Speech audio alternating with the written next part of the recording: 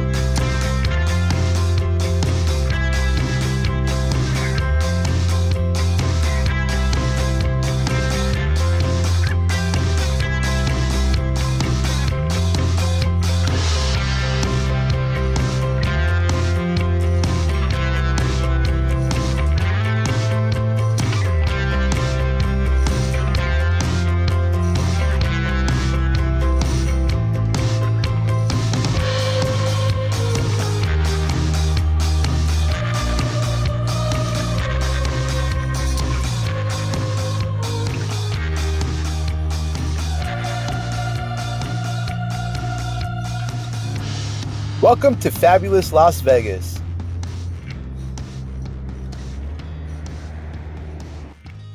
Las Vegas is a city located in the state of Nevada in the United States. It is known for its vibrant nightlife, casinos, entertainment, and luxurious resorts. Las Vegas has a rich and fascinating history dating back thousands of years to when the area was inhabited by Native American tribes such as the Paiutes. In the 1800s, the area that is now Las Vegas was part of the Spanish Empire and later became part of Mexico. In 1855, a group of Mormon settlers established a fort in the area to protect their water rights and to provide a rest stop for travelers on the Mormon Road, now called the Old Spanish Trail. In the early 1900s, the railroad arrived, which brought more people and commerce to the area. The city's first hotel, the Hotel Nevada, now the Golden Gate Hotel and Casino, opened its doors in 1906. However, Nevada banned gambling in 1910, although it was still done illegally, and 20 years later legalized it again, and the first legal casino, the Northern Club, opened in 1931.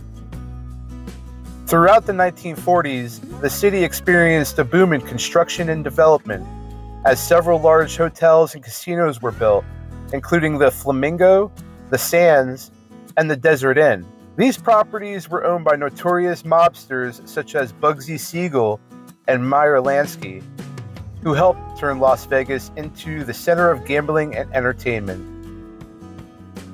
We parked the RV at the only Thousand Trails campground in Vegas, which was only 20 minutes from the strip. I didn't take much footage of the campground because as soon as we got there, I left for the strip.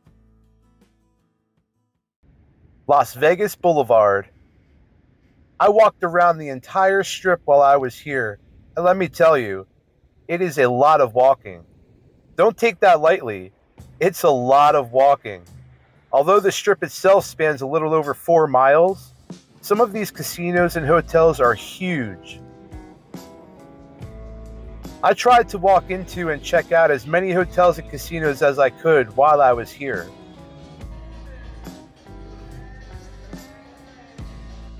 I stayed on the strip for a few nights and got a room at the Horseshoe with a view of the Bellagio. It was a nice hotel with a Western theme and priced at $145 per night. The Horseshoe is located center of the strip alongside Flamingo, Paris, and Bally's and across the street from Caesar's Palace and Bellagio. The Las Vegas monorail is seemingly the best way to travel around the strip. $15 for 24 hours unlimited access, or $5 for each ride. It was definitely the best way to see the strip since the track is high above the road and frequents seven stops from the Sahara to the MGM Grand every nine minutes. It's also worth mentioning the monorail is completely automated, meaning there is no driver. The first night on the strip, I checked out the northern part of the strip. On the north side were hotels and casinos such as the Sahara, which holds a Middle Eastern theme,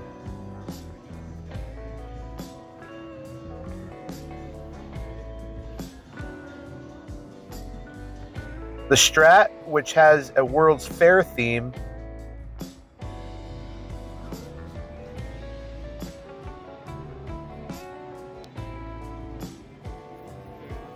and Circus Circus used a circus theme.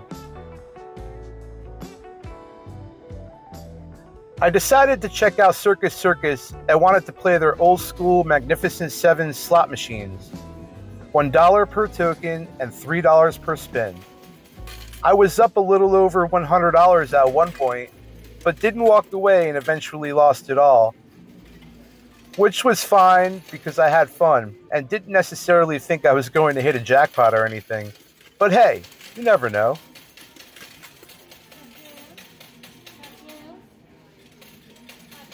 After Circus Circus, I headed back to the Horseshoe and enjoyed a little bit of the casino there before heading to bed. The next morning, I decided to check out the center of the strip, where there are several major resorts and attractions such as Caesar's Palace, Flamingo, and Bellagio, featuring its iconic fountain shows. I went across the street to the famous Bellagio Hotel for their brunch buffet.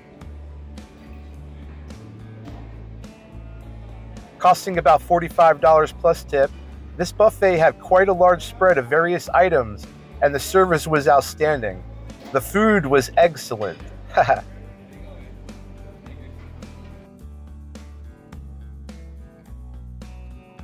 The Bellagio is an Italian themed resort, and its five star luxury is one of the most well known and elegant on the strip.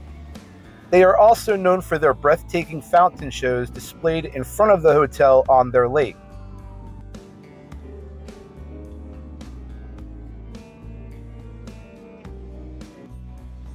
Next to the Bellagio is Caesar's Palace, which is another well known five star resort with a Roman Empire theme and a huge casino.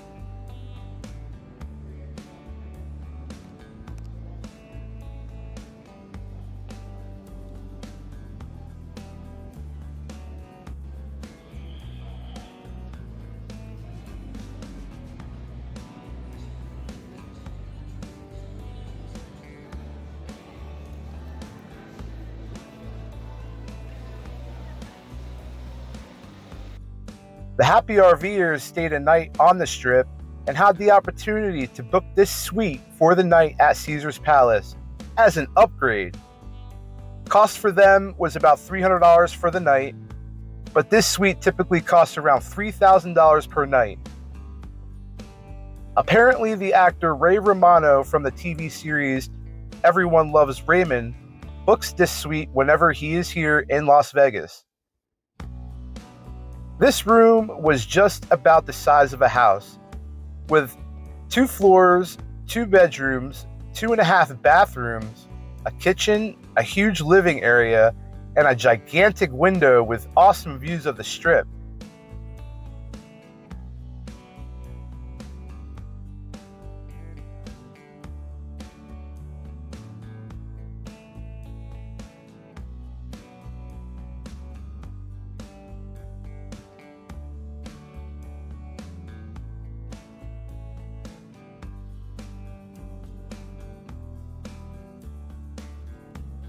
After roaming around the center of the strip most of the day, I ventured towards the south end of the strip, towards the Welcome to Fabulous Las Vegas sign. Hotels around here include Mandalay Bay, Luxor, an Egyptian theme, New York, New York, which is New York City themed, and MGM Grand, which is an Art Deco Hollywood theme. The Luxor shaped like a pyramid, has a beam of light coming out from the top of the hotel that can apparently be seen from space.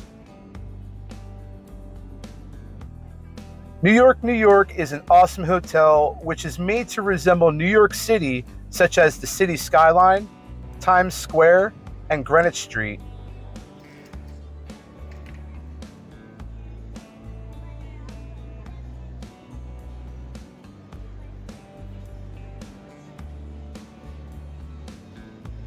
I went to a Terry Fator show while I was here.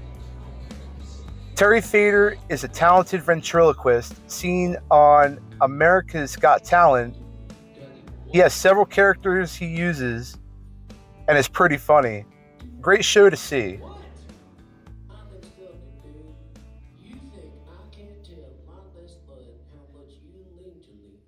MGM Grand featured an Art Deco Hollywood theme and was the last stop of the monorail. I visited this place a few times while in Las Vegas because of its casino. Of all the casinos I have seen, I like this one the most. Maybe it's just because I won more money here than other casinos.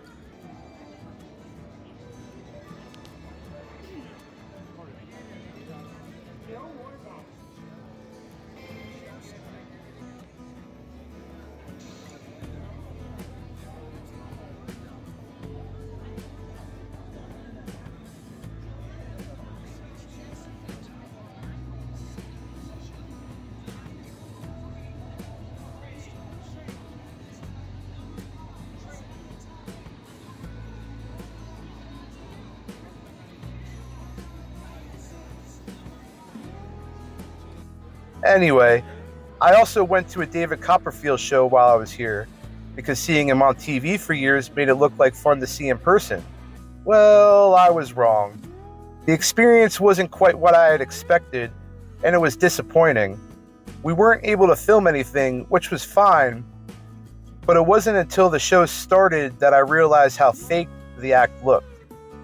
From the random chosen people in the crowd to mysteriously and magically making things appear, which was just his staff moving items into place, all while other staff members kept shining flashlights in the crowd's eyes to help blind them from seeing what was happening behind the scenes.